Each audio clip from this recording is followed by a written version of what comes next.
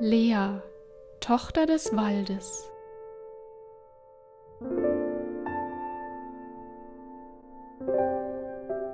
Vor vielen, vielen hundert Jahren, da gab es einmal eine Zeit, in der fühlte sich Mutter Erde sehr einsam, und eine große Leere machte sich in ihrem Herzen breit.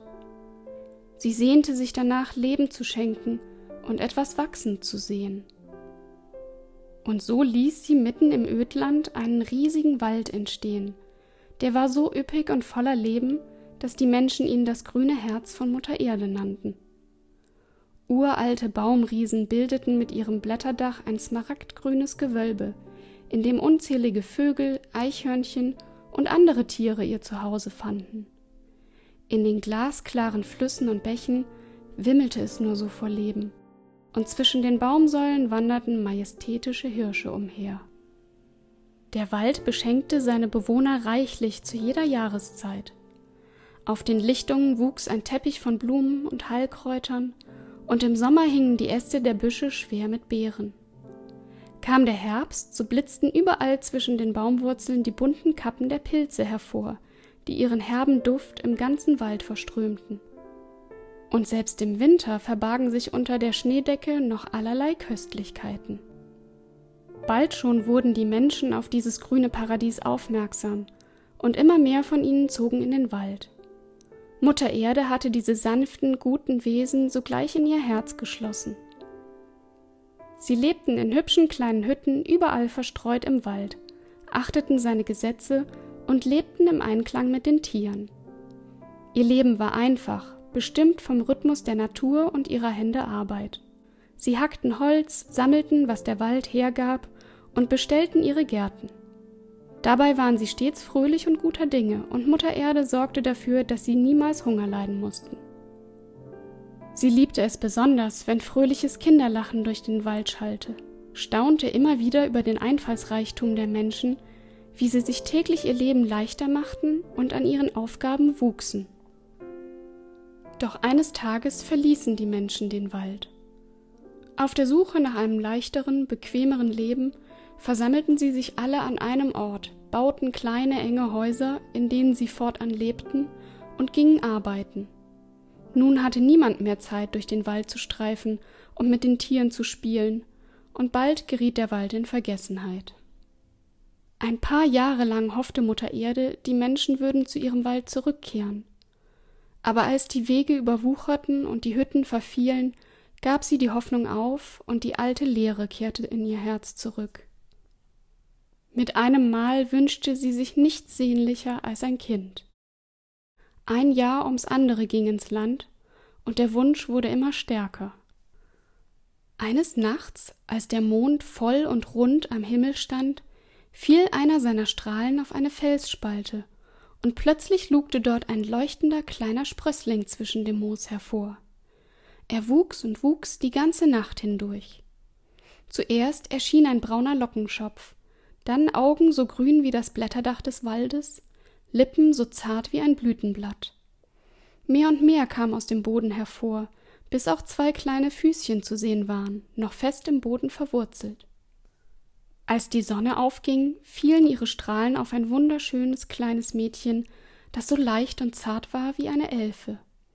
Da lösten sich die Wurzeln von ihren Füßen, und sie sprang fröhlich in den Wald hinein. Der war fortan ihr Zuhause. Das kleine Mädchen nannte sich selbst Lea, denn sie war eine Tochter des Waldes. Sie spann sich ein Kleidchen aus Spinnweben, das im Morgentau glänzte, als sei es mit Perlen besetzt. Im Winter trug sie ein Pelzmäntelchen, für das ihr jedes Tier im Wald ein Stück seines Fells geschenkt hatte. Denn alle liebten sie das kleine Mädchen, das stets gut zu ihnen war und ihre Sprache beherrschte. Somit hatte Lea einen ganzen Wald voller Freunde und war niemals einsam. Ihr Zuhause war eine hohle Eiche, die hatte sie sich gemütlich eingerichtet, gerade so wie eine Stube. Und wenn sie des Nachts in ihrem Bettchen lag, so hörte sie die Stimme von Mutter Erde im Rauschen der Zweige, die ihr stets die schönsten Gute-Nacht-Geschichten erzählte und sie tröstete, wenn sie einmal traurig war. Aber traurig war Lea nicht oft. Nur manchmal wünschte sie sich, es gäbe noch andere wie sie, Menschenkinder, die auch auf zwei Beinen daherkamen und so dachten und fühlten wie sie. Einmal, als Lea mit den Hasen und Rehkitzen fangen spielte, geriet sie in den verbotenen Teil des Waldes, in den sie noch niemals einen Fuß gesetzt hatte. Hier lichteten sich die Bäume, und plötzlich lag ein offenes Feld vor ihr. In der Ferne erspähte sie die roten Dächer der Stadt, und vom Kirchturm drang das Läuten der Sonntagsglocke herüber. Was ist das alles? wollte Lea wissen. Das ist eine Stadt, antwortete das Rehkitz. Dort leben viele Menschen, ein sehr gefährlicher Ort. Den Tieren war unbehaglich zumute. So nah am Waldrand waren sie noch nie gewesen. Aber Lea horchte auf. Menschen, sagst du? Du meinst solche wie mich?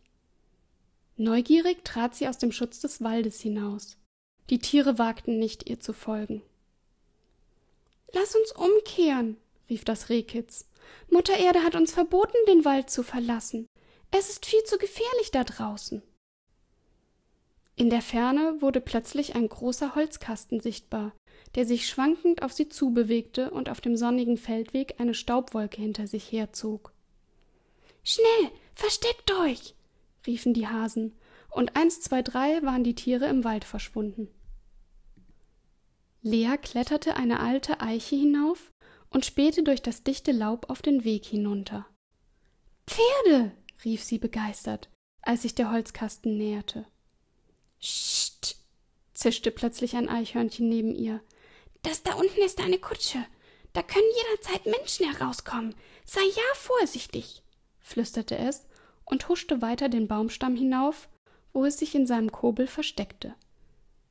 Die Kutsche holperte und polterte nun den steinigen Weg hinab.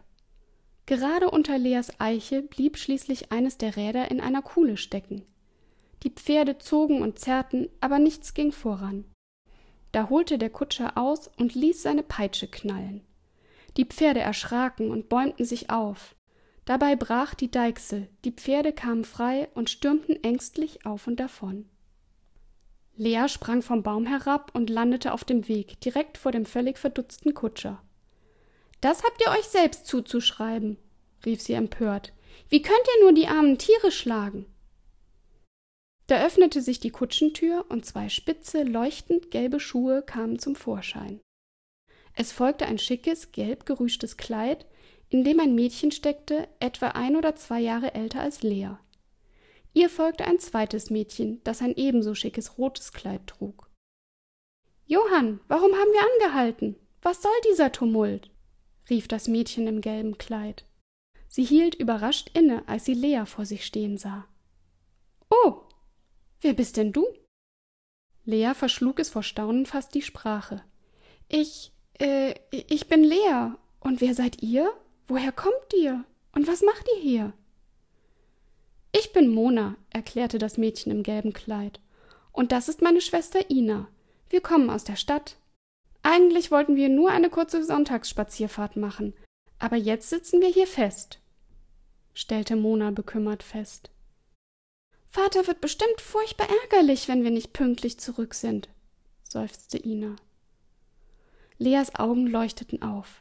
Seid unbesorgt, ich will die Pferde schon zurückholen, sprach sie, und schon war sie auf und davon. Es dauerte nicht lange, da kam Lea zurück. Beide Pferde trotteten ruhig hinter ihr her, ohne dass Lea sie festhalten musste. Sie stellten sich zufrieden neben die Kutsche und begannen zu grasen. Wie hast du das nur gemacht? fragten die beiden Mädchen verwundert. Ich musste ihnen versprechen, dass der Kutscher sie nie wieder schlägt. Lea schielte vorwurfsvoll zum Kutscher hinüber. Der zwinkerte ihr freundlich zu und bekreuzigte sich. Ehrenwort! Dann kletterte er vom Kutschbock herab und machte sich daran, die gebrochene Deichsel zu reparieren. Die Mädchen holten eine Decke aus der Kutsche hervor, breiteten sie aus und machten es sich darauf bequem. Und was machen wir jetzt? fragte Ina ihre Schwester. Ich hab solchen Hunger und das Sonntagsbuffet werden wir nun verpassen. Lea grinste fröhlich. Einen Moment, ich bin gleich zurück. Wieder sprang sie davon und kam mit einem Körbchen in der Hand zurück. Das war gefüllt mit Äpfeln, Nüssen und allerlei Beeren. Sogar ein Bärlauchbrot und ein kleiner Kuchen waren dabei. Die hatte sie selbst gebacken. Die Mädchen und der Kutscher langten zu und hatten ihre helle Freude an den Köstlichkeiten. Mona sah sich staunend um. Sag, das hast du alles selbst gesammelt und gebacken? Lea nickte stolz. Und woher kommt dieses wunderhübsche Kleid, das du trägst? Noch nie habe ich so etwas Schönes gesehen, rief Ina. Auch das habe ich selbst gemacht. Aber Kind, sorgt denn keiner für dich? fragte der Kutscher. Oh doch, rief Lea. Mutter Erde sorgt stets gut für mich, so gut wie es nur eine Mutter kann. Mona und Ina tauschten einen mitleidigen Blick. Aber ein Kind wie du braucht eine echte Mutter und einen Vater und ein Zuhause, warf Mona ein. Aber ich hab doch ein Zuhause. Und Lea erzählte ihnen von ihrer Stube im Baum, von den flüsternden Zweigen und ihren Freunden den Tieren. Du bist ein seltsames Mädchen, rief Mona lachend. Lea blickte beschämt zu Boden. Sie hatte immer gedacht, sie sei gut so, wie sie war. Es war ja noch nie in den Sinn gekommen, dass man überhaupt anders sein konnte. Mona sah ihren betrübten Blick und schlang ihre Arme um sie. Aber ich mag dich. Bitte, komm doch mit uns. Du kannst bei uns bleiben. Vater und Mutter haben sicherlich nichts dagegen. Wir können dir die Stadt zeigen, und du bekommst ein richtiges Zuhause. Lea zögerte. Es klang verlockend, ein Leben unter anderen Menschen, ein Abenteuer in der großen, unbekannten Stadt. Aber ihren Wald und Mutter Erde dafür verlassen? Du glaubst ja nicht, wie schön es in der Stadt ist, versuchte Ina sie zu überzeugen. Die Betten sind so weich wie eine Wolke. Im Winter ist das Haus immer warm. Und erst das Badewasser. Hast du schon jemals ein warmes Bad genommen? Nachdenklich schüttelte Lea den Kopf. Ja, und all die schmucken Menschen, die es in der Stadt zu sehen gibt. Einer schicker als der andere. Auch ein paar hübsche Jungs sind dabei, rief Mona und zwinkerte Lea zu. Und dann erst die Bälle, schwärmte sie. Was meinst du? fragte Lea erstaunt. Das sind festliche Abende, an denen man sich trifft, um zu tanzen. Es gibt die tollsten Speisen, Musik spielt den ganzen Abend und alle kommen in ihren schönsten Kleidern, erklärte Ina. Oh, das klingt zauberhaft. Lea war hin und weg. Dann kommst du also mit uns? rief Mona aufgeregt und sprang auf. Lea blickte zögernd zurück in den Wald. Hinter einem Baumstamm lugte das Rehkitz hervor und sah sie mit traurigen Augen an. Doch dann sah sie die beiden Mädchen, die sie erwartungsvoll anstrahlten. Also gut, ich komme mit. Ina und Mona fielen ihr jubelnd um den Hals. Da kam Johann auf sie zu. Wenn die jungen Damen nun einsteigen würden, die Kutsche ist repariert. Lea stieg ein und setzte sich zwischen die beiden Mädchen. Ihr Herz klopfte ihr bis zum Hals, als die Kutsche sich ruckelnd in Bewegung setzte und sie fortfuhr, hinein in ein völlig neues, aufregendes Leben. Als sie durch das Stadttor fuhren, fühlte sich Lea, als hätte sie ihr ganzes Leben unter einer Glasglocke verbracht, die nun mit einem heftigen Ruck gelüftet wurde. Es war laut und bunt und ein heilloses, wunderbares Durcheinander. Pferde und Wagen klipp-klappten über das Kopfsteinpflaster, vom Marktplatz drang das Geschrei der Verkäufer herüber, und eine Rasselbande von Kindern lief laut lachend an ihrer Kutsche vorbei. Vor dem Laden des Gewürzhändlers stand ein Turm von Holzkisten, gerade aus dem Orient angekommen, die verströmten einen fremdartigen, geheimnisvollen Duft. Im Schaufenster der Schneiderei waren wunderschöne Kleider zu sehen, und auf den Straßen trugen die Frauen noch schönere Kleider spazieren. Lea staunte, mit welcher Eleganz und Grazie die Damen die Straßen entlang schritten, gefolgt von einem Schwarm schicker Männer im Frack und Zylinder, die aus der Ferne aussahen wie Krähen. Schließlich hielt die Kutsche vor einem prächtigen Patrizierhaus, weiß getüncht mit schwarzem Fachwerk und vielen kleinen roten Fensterläden. Die Erkertürmchen an jeder Seite ließen es aussehen wie ein kleines Schloss, und ein verschnörkeltes hölzernes Tor ließ nur vermuten, wie kunstvoll das Haus eingerichtet sein musste. Es war das Haus der Familie Goldmann. Staunend sprang Lea aus der Kutsche heraus, und ihre nackten Füße landeten hart auf dem kalten Kopfsteinpflaster. Autsch! rief sie überrascht. Ina sah skeptisch an ihr herunter. Als erstes müssen wir dir Schuhe beschaffen. Barfuß kannst du in der Stadt nicht laufen. Und du brauchst etwas Vernünftiges anzuziehen. Die Mädchen nahmen Lea bei der Hand und stürmten mit ihr ins Haus hinein, direkt in den Speisesaal, wo ihre Eltern gerade vom Tisch aufstanden. Ihr seid zu spät. Wir haben das Frühstück gerade beendet, tadelte der Vater. Das macht gar nichts. Wir haben bereits gegessen, rief Mona vergnügt. Sieh nur, Vater, was wir aus dem Wald mitgebracht haben. Sie trat zur Seite und gab den Blick auf Lea frei, die sich hinter ihr versteckt hatte. Die Mutter schnappte nach Luft, als sie das kleine Mädchen sah, barfuß mit wirren Locken und in einem ärmlichen Kleidchen. Aber Kind, wo kommst du denn her? Voller Mitleid strich sie ihr übers Haar. Lea wurde unbehaglich zumute. Warum behandelte sie jeder so, als hätte sie großes Leid ertragen? Sie war doch immer glücklich gewesen. Mona und Ina erzählten ihren Eltern, was sich im Wald zugetragen hatte. Bitte, Vater, bitte, Mutter, kann Lea bei uns bleiben? fragte Mona schließlich. Die Eltern sahen sich unsicher an. Die Mutter zuckte mit den Schultern. Fürs erste Jahr, antwortete der Vater. Die Mädchen jubelten und sausten wie der Wind hinauf in Monas Zimmer.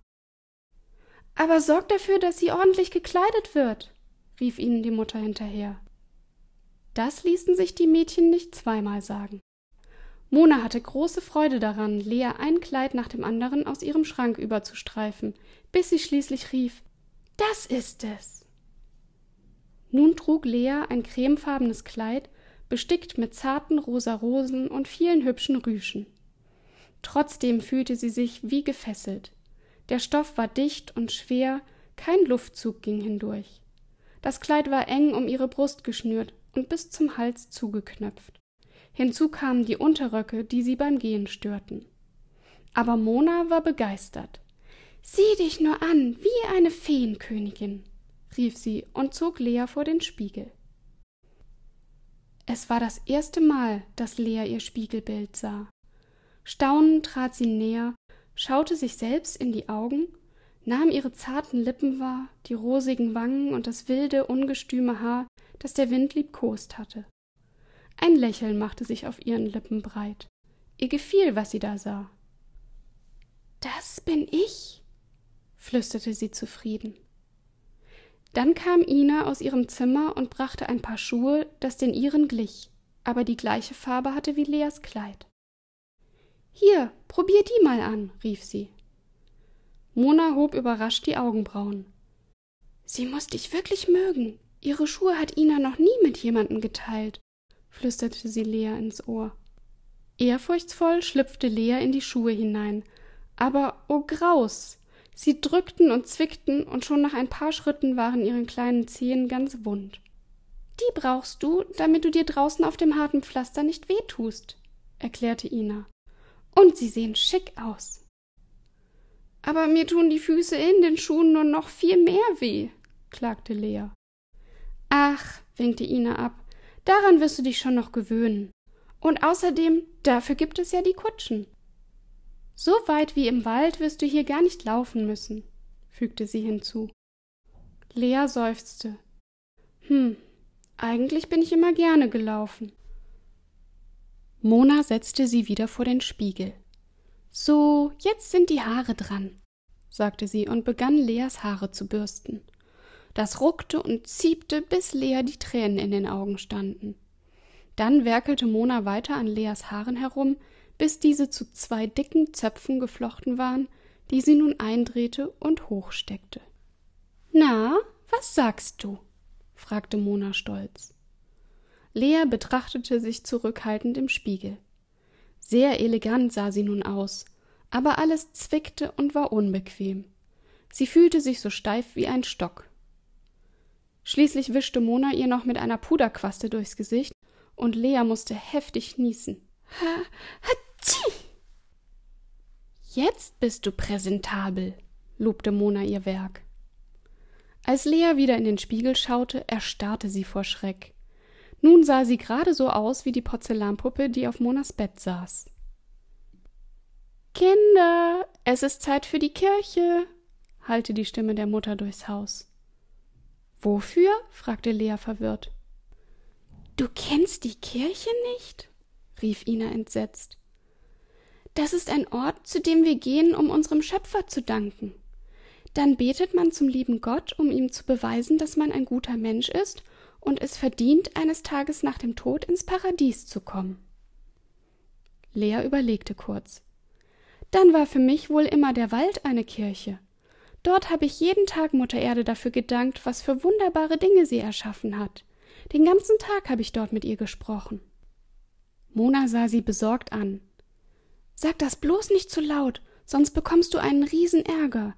Es gibt nur den einen Gott. Keinen anderen darf man anbeten, sonst wird er furchtbar wütend und bestraft dich dafür. Leas Gesicht wurde vor Angst kreidebleich. Aber ich hab ja bis gerade eben nicht einmal gewusst, dass es solch einen Gott gibt. Meinst du, er ist sehr böse auf mich? Bestimmt nicht, versuchte Mona sie zu beruhigen. Wenn du von heute an immer mit uns in die Kirche gehst, kannst du ihm sicherlich beweisen, dass du ein guter Mensch bist. So fuhr Lea also mit zur Kirche, folgte aufmerksam dem Gottesdienst und ging mit Mona und Ina in die Sonntagsschule, um all die Regeln zu lernen, denen sie fortan folgen musste. Tags darauf ging es weiter, denn nun sollte Lea mit Mona und Ina den Unterricht besuchen und lesen und schreiben lernen. Der Hauslehrer schlug seine Hände über dem Kopf zusammen, als er hörte, dass Lea noch nie in der Schule gewesen war. Aber Kind, dann hast du ja in deinem Leben noch nichts Nützliches gelernt. Aber doch, rief Lea überrascht. Ich habe gelernt, welche Pflanzen man essen kann und welche nicht, welche Kräuter Krankheiten heilen, wie sich der erste Schnee ankündigt, wie man ein Feuer macht und woran man erkennt, dass ein Gewitter aufkommt. Genug, rief der Hauslehrer und schlug mit der Faust auf den Tisch. Hexenwerk. Das ist alles Hexenwerk. Davon darfst du nie wieder sprechen, Kind. Man hat Menschen schon für weniger verbrannt als das, was du gerade berichtet hast. Voller Entsetzen senkte Lea den Kopf und steckte ihre Nase in ihr Buch. Für den Rest des Tages kam ihr nicht ein Wort über die Lippen. So ging es einige Wochen weiter. Lea hatte die Familie Goldmann schnell in ihr Herz geschlossen. Mona und Ina waren ihr tolle Spielgefährtinnen. Die Mutter war sanft und schenkte ihr so viel Liebe wie ihren eigenen Kindern. Und der Vater las Lea und den Mädchen jeden Abend die tollsten Geschichten vor, von Abenteurern in fernen Ländern, die brachten Lea zum Träumen. Sie wollte die Erwartungen der Familie so gern erfüllen, also strengte sie sich furchtbar an, alles zu lernen, was man wissen musste, um in der Stadt zurechtzukommen. Hier durfte man sich die Dinge, die einem gefielen, nicht einfach nehmen. Man musste dafür bezahlen mit goldenen, runden Talern. Und die bekam man für seine Arbeit. Und um eine vernünftige Arbeit zu finden, musste man erst einmal lesen und schreiben können. Lea durfte auch nicht mehr tun und lassen, was sie wollte. Im Unterricht musste sie still sitzen und zuhören. Sie durfte nur sprechen, wenn ihr das Wort erteilt wurde. Sie musste Hausaufgaben machen, sticken lernen und Klavier üben. Und sie musste immer leise sein. Beim Spielen konnte sie nicht mehr herumtoben, wie sie es im Wald mit den Tieren getan hatte. Einmal war sie mit Ina und Mona wild durch das Haus gesprungen und hatte Fangen gespielt. Aber nach kurzer Zeit war Mona völlig aus der Puste gewesen, musste furchtbar husten und konnte kaum noch atmen. Schließlich war sie sogar ganz blau geworden im Gesicht, bis der Vater herbeieilte und ihr eine Arznei verabreichte. Lea, du darfst Mona nicht zu solch wilden Spielen anstiften, rief er aufgebracht vor Sorge. Sie ist krank und darf sich nicht zu sehr anstrengen. Also verbrachten die Mädchen viel Zeit auf Monas Zimmer. Dort spielten sie dann mit hübschen Porzellanpuppen in ebenso schicken Kleidern und machten ihnen die gleichen Frisuren wie sich selbst. Bald schon war es Lea furchtbar langweilig, und alles kam ihr grau und dröge vor. Eines Tages hielt Lea es nicht länger aus. Beim Abendbrot platzte es aus ihr heraus. Ich muss wieder nach Hause. Sofort verstummte das Klirren des Bestecks und alle sahen sie überrascht an. Aber Kind, das hier ist jetzt dein Zuhause. Hast du uns denn gar nicht gern? fragte die Mutter enttäuscht. Oh doch, widersprach Lea. Aber ich hab solches Heimweh, ich kann es kaum noch aushalten. Ich vermisse den Wald und die Tiere. Der Vater sah Lea nachdenklich an. Ich kann verstehen, dass hier noch alles fremd und ungewohnt für dich ist. Aber du machst deine Sache doch ganz gut. Du findest dich bestimmt noch ein. Aber gehen lassen können wir dich nicht. Wir haben jetzt die Verantwortung für dich. Du darfst nicht einfach wieder so allein in den Wald ziehen. Lea traten die Tränen in die Augen.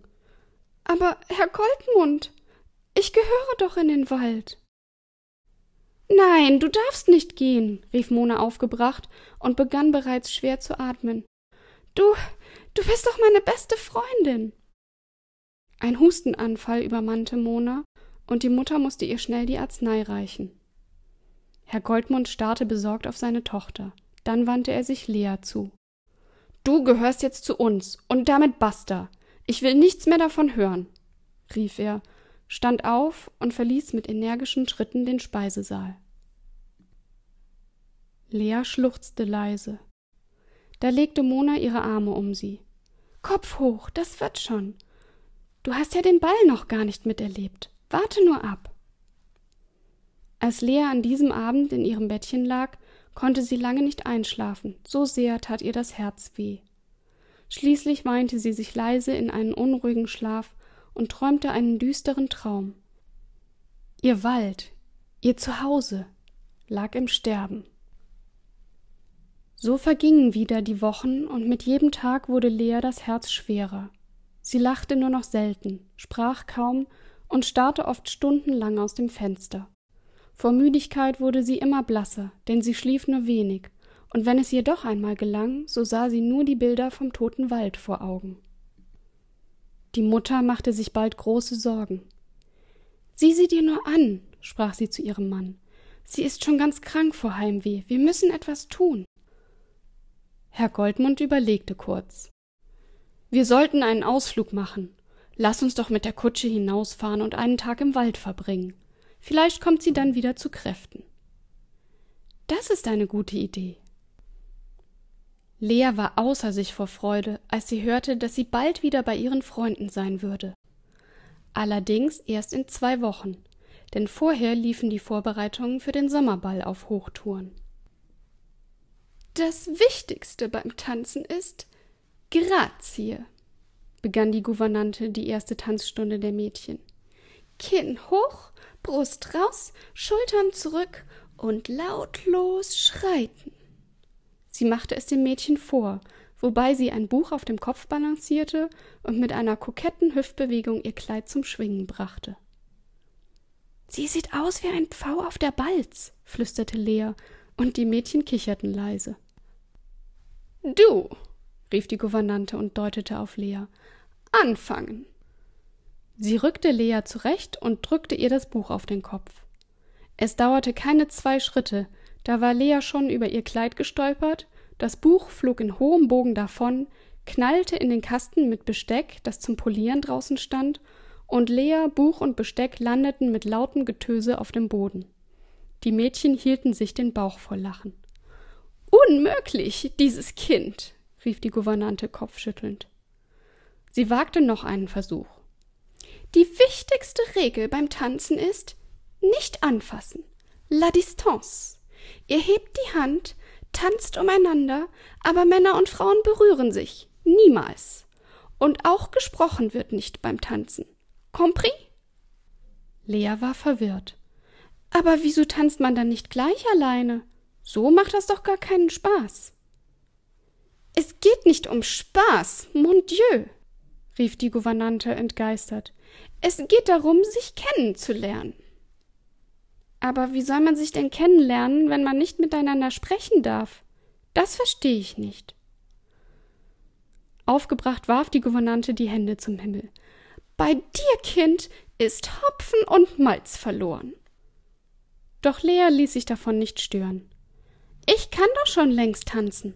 Passt mal auf, bei uns geht das so, rief sie, zog Mona und Ina zu sich heran und gemeinsam hopsten sie im Ringelreihen lachend durch den Saal. Incroyable! Die Gouvernante gab auf und verließ kopfschüttelnd den Saal. Zwei Tage später war es dann endlich soweit.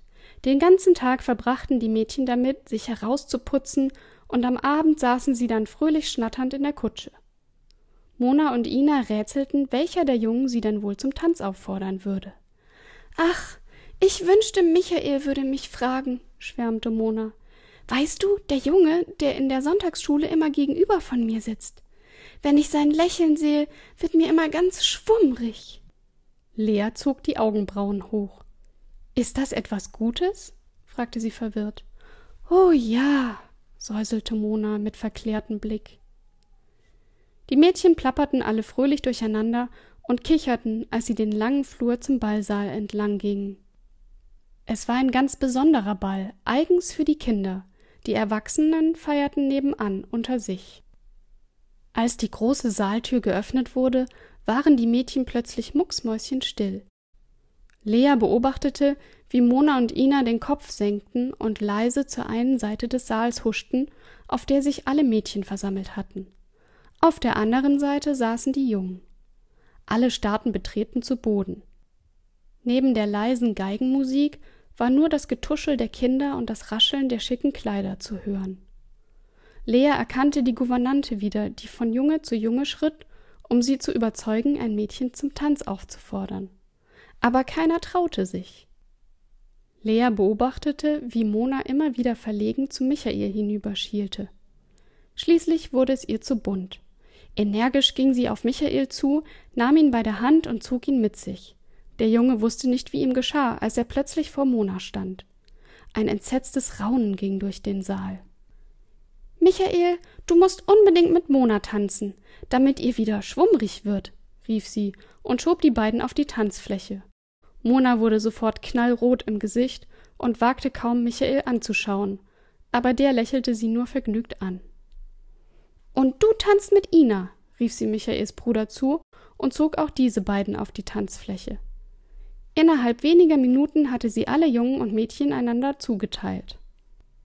Dann huschte sie zu den Geigenspielern und flüsterte ihnen zu Jetzt spielt einmal etwas Fröhlicheres, sonst schlafen hier alle ein.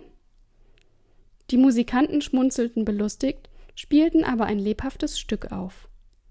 Jetzt zeige ich euch mal, wie die Feen tanzen, rief Mona vergnügt, und im Nu hielten sich alle Kinder bei den Händen und tanzten lachend im Reigen. So einen Spaß habe ich noch nie gehabt, rief Mona ihr begeistert zu. Es ging immer lauter und wilder zu, bis die Erwachsenen die Hände über dem Kopf zusammenschlugen.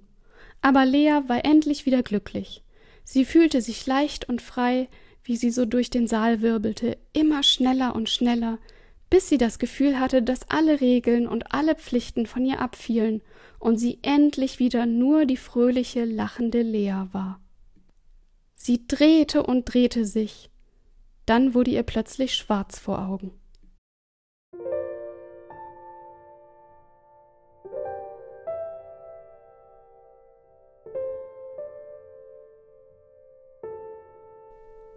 Lea schreckte auf. Ihr Herz raste und kalte Schweißperlen standen auf ihrer Stirn. Es war finstere Nacht und sie lag in ihrem Bett. Neben ihr schlief Mona tief und fest. Wieder hatte sie der gleiche Traum geplagt wie jede Nacht, aber dieses Mal fühlte er sich so echt an. Sie war wieder zu Hause gewesen, in ihrem Wald, aber er lag im Sterben. Die Tiere waren fort, das grüne Blätterdach der Baumriesen ebenso. Viele der Bäume waren morsch und umgestürzt, der Waldboden war bedeckt mit toten Ästen und vertrocknetem Laub. Alle Pflanzen waren braun und faulten, die Flüsse waren trüb und schmutzig, und kein einziger Fisch schwamm mehr darin. Düstere Nebelschwaden hingen zwischen den Baumgerippen, und es herrschte Totenstille im Wald. Dann sah Lea ihren besten Freund, das Rehkitz, auf wackeligen Beinen vor sich stehen. Warum hast du uns nur verlassen? Warum hast du uns das angetan? Sieh doch, alles stirbt, nur wegen dir, klagte es. Dann gaben seine Beine nach und es fiel erschöpft zu Boden. Lea wollte auf das Rehkitz zueilen, doch da war sie aus ihrem Traum aufgeschreckt. Zitternd warf sie die Bettdecke zurück und sprang aus ihrem Bett. Sie schlüpfte hastig in ihre Kleider, packte ihre Schuhe und schlich sich aus dem Zimmer, vorbei am Bett ihrer schlafenden Freundin. Wehmütig strich Lea ihr über das Haar, dann war sie auch schon zur Türe hinaus. Es hatte etwas Endgültiges, als das große Tor leise hinter Lea ins Schloss fiel. Sie schaute zurück auf das Haus, das ihr so viele Monate ein Zuhause gewesen war und das voller lieber Menschen war, die sie nun nie wiedersehen würde. Aber sie wusste nun, dass sie nicht hierher gehörte. Mit einem tiefen Seufzer zog sie sich die Schuhe an und lief los. Ihre Absätze klickklackten auf dem harten Kopfsteinpflaster durch die Nacht.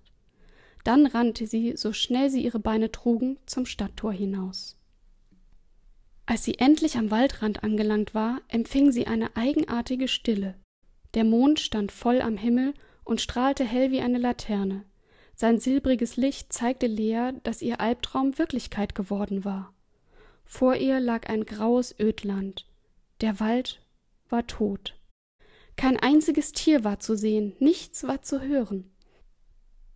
Tote Zweige knackten unter ihren Füßen, als Lea in hastigen Schritten auf den Eichenbaum zulief, der ihr so viele Jahre ein Zuhause und ein treuer Freund gewesen war. Schluchzend warf sie ihre Arme um den Stamm und vergrub ihr Gesicht in der dicken Borke.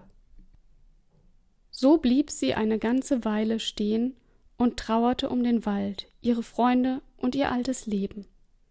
Schließlich riss sie sich das schicke Kleid vom Leib und die Schleifen aus dem Haar, streifte die Schuhe ab und warf sie wütend von sich.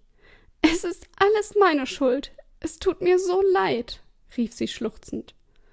Sie hatte nur noch einen Wunsch hinunter zum Wasserfall, um all das Puder, all den Schein von sich zu waschen, diese Hülle des Stadtmädchens von sich zu waschen, die sie umgab. Sie tat einen Schritt, und als ihr nackter Fuß den Boden berührte, da wurde das Moos an dieser Stelle wieder grün. Sofort sprossen kleine Keimlinge zwischen ihren Zehen hervor. Überrascht zog sie den Fuß zurück, aber die grüne Stelle blieb. Vorsichtig tat sie einen weiteren Schritt und auch hier begann alles zu sprießen. Mit jedem Schritt, den sie ging, kam neues Leben in den Wald zurück. Efeu rankte sich nun an den Baumstämmen hinauf, deren Knospen sofort aufsprangen und frisches, grünes Laub entfalteten. Lea jauchzte erleichtert auf, dann lief sie los. Sie jagte so schnell sie ihre Füße trugen durch den Wald, von Baumriese zu Baumriese und beobachtete, wie um sie herum das Leben begann von neuem zu erblühen. Als sie das Flussufer erreichte, erstarrte sie nochmal vor Schreck. Das Wasser war grau und trübe, und kein einziger Fisch war zu sehen.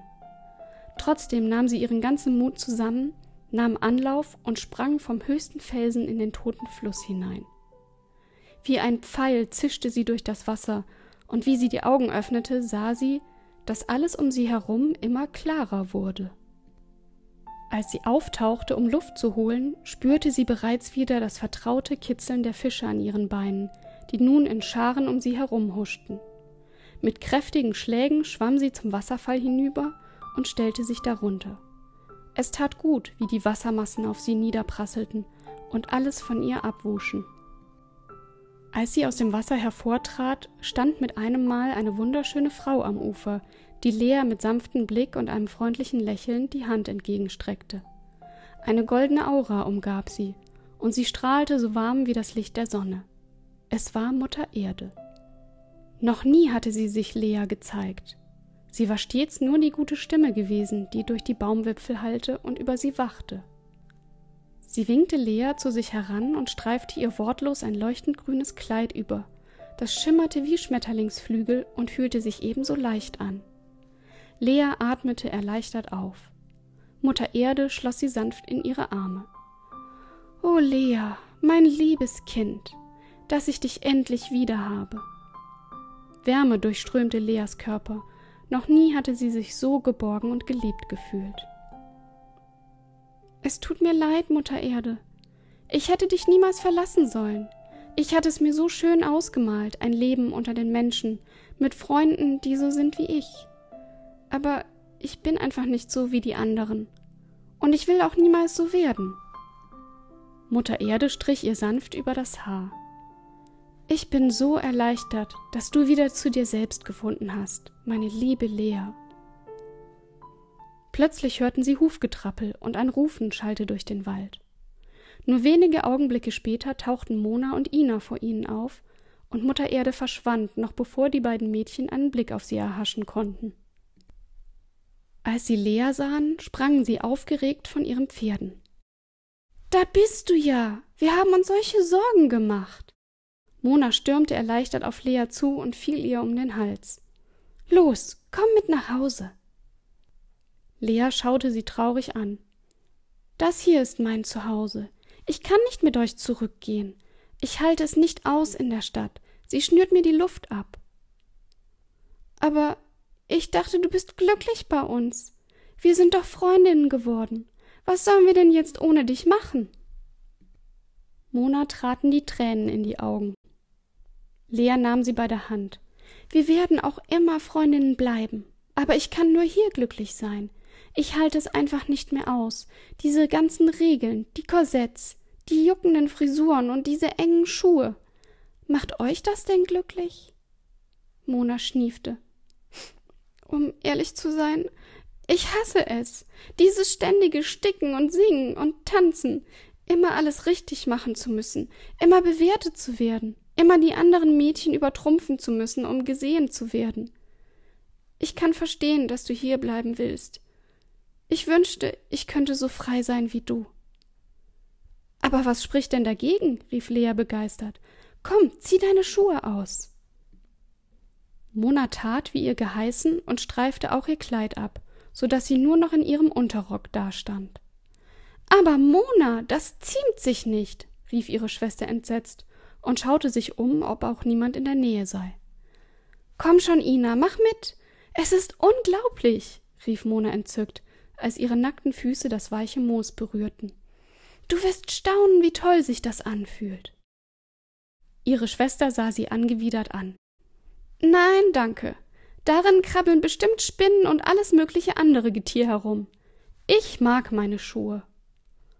Mona zuckte mit den Achseln, dann fasste sie Lea bei der Hand und gemeinsam sprangen die Mädchen lachend vom großen Felsen in den Fluss hinein. Sie bespritzten sich gegenseitig mit Wasser und tollten übermütig im Fluss herum. Ihr fröhliches Lachen tönte durch den Wald wie Glockenklang.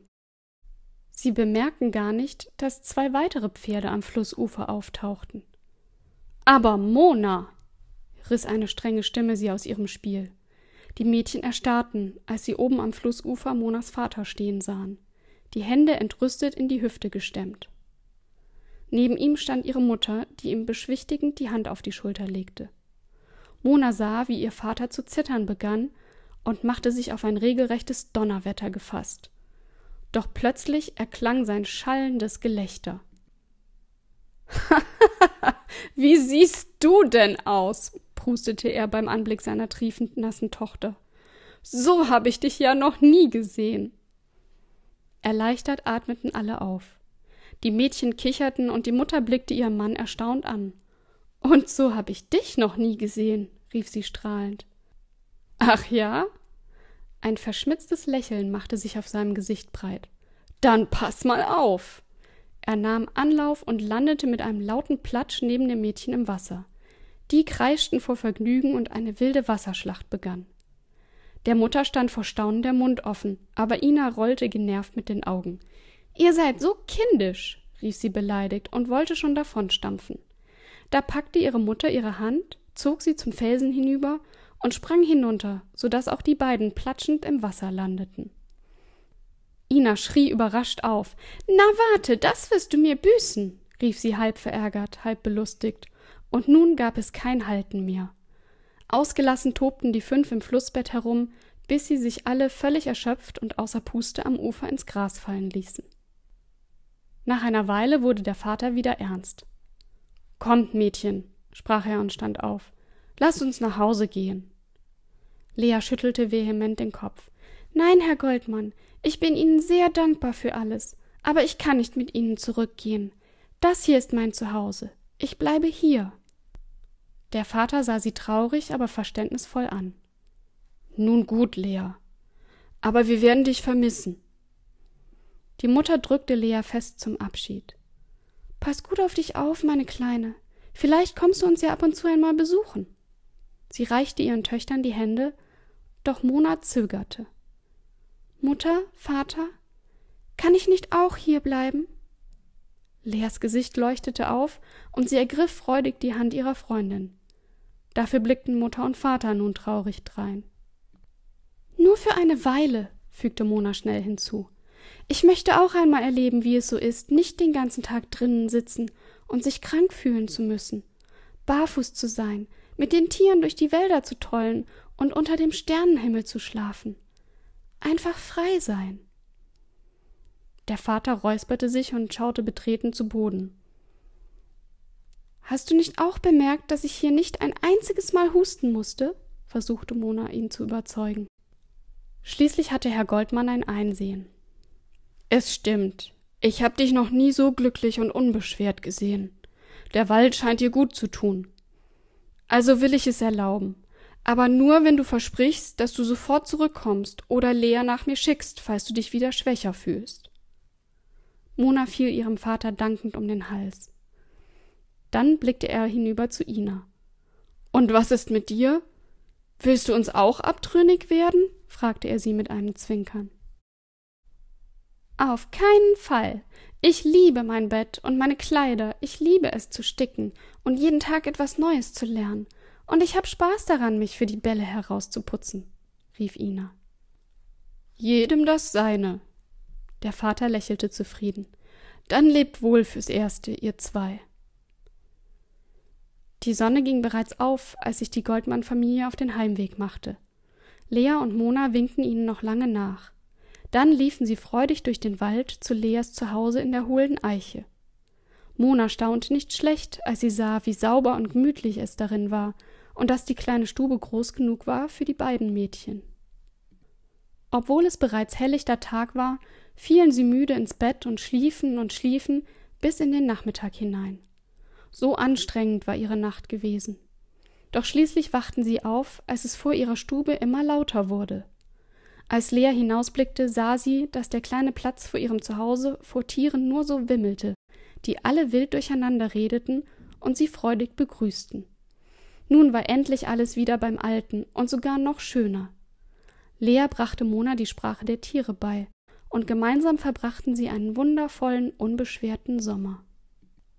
Doch als es schließlich kälter wurde und der Winter hereinbrach, da kehrte Monas Husten zurück, und eines Abends war es so schlimm, dass sie kaum noch Luft holen konnte. Schweren Herzens griff Lea nach ihrem Pelzmantel und wollte gerade hinausstürmen, um Herrn Goldmann zu holen, da klopfte er bereits an ihrer Türe. Hallo, Lea. Ich habe schon geahnt, dass der Winter hier draußen zu hart wird für meine kleine Mona. Darum wollte ich euch einen Vorschlag machen. Komm doch für den Winter wieder mit zu uns nach Hause. Dann hast du's warm und gemütlich und du hast genug Zeit, um lesen und schreiben zu lernen. Du könntest mit Mona gemeinsam die Bücher lesen, die dir so gefallen haben. Und im Frühling kommen wir dafür alle in den Wald. Lea lächelte verhalten. Das hört sich wunderbar an. Mutter Erde würde sich über etwas Gesellschaft bestimmt freuen. Aber ich weiß nicht, ob ich den Wald noch einmal verlassen darf. Das letzte Mal habe ich großes Unglück über alle gebracht. Da ging mit einem Mal ein Rauschen durch die Zweige der alten Eiche, und sie wippten zustimmend auf und ab. Geh nur, Kind, geh, solange du im Frühjahr wiederkommst, wenn das Leben hier von neuem erwacht, hörte sie die Stimme von Mutter Erde durch die Zweige raunen. Und so geschah es. Den Winter verbrachte Lea bei den Goldmanns, und dieses Mal konnte sie die Zeit mit ihren Freunden genießen, denn sie wusste, dass sie bald wieder nach Hause zurückkehren würde. Und als endlich der Frühling kam, ging die ganze Familie in den Wald. Herr Goldmann baute eine kleine Holzhütte, und da verbrachten sie fortan jeden Sommer. Es dauerte nicht lange, da taten es ihnen die anderen Stadtbewohner nach. Immer mehr kamen wieder zurück in den Wald. Dieses Mal war es Lea, die ihnen alles beibrachte, was sie für ein Leben im Wald wissen mussten. Die Menschen wurden wieder ruhiger und zufriedener und fühlten sich befreit. Mutter Erde war so glücklich wie zuvor. Die Ordnung war wieder hergestellt. Der Wald wuchs und gedieh und wurde mit jedem Jahr größer. Schaut doch einmal vorbei, wenn ihr Lust habt. Ein besonders schönes Häuschen halte ich stets für euch frei.